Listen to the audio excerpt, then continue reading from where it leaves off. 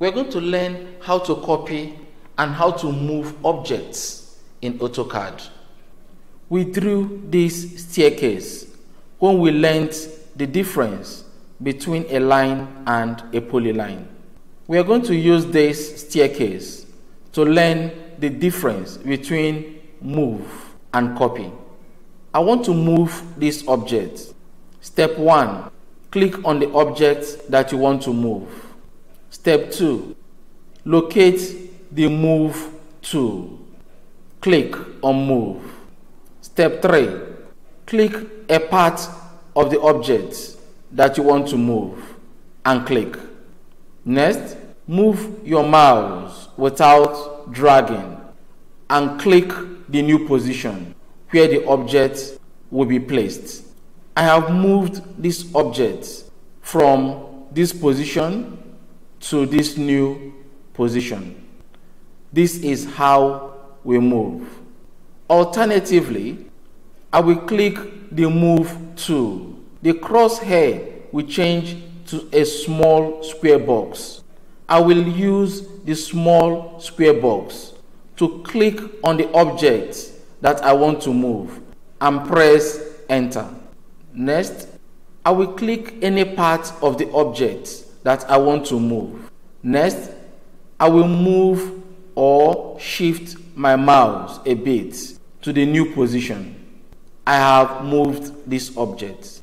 Now that you have learned how to move objects, we moved this object from this position to this position and we equally moved it back.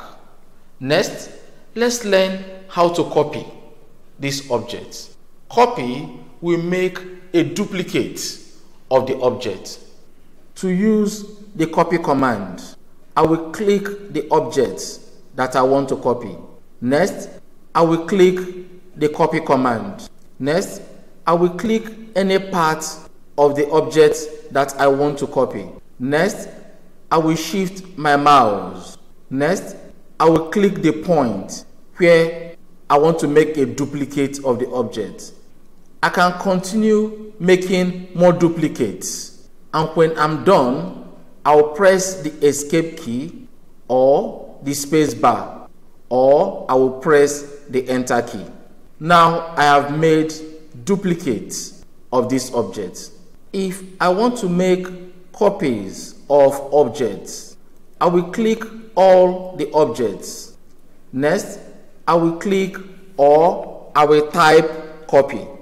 Press enter. I will pick any part of just one of the objects. Next, I will make copies. And when I'm done, I will press enter or escape key or the space bar. I have made duplicate copies of these objects. In this video, you have learned how to move objects and how to copy objects in AutoCAD. I hope this video was helpful.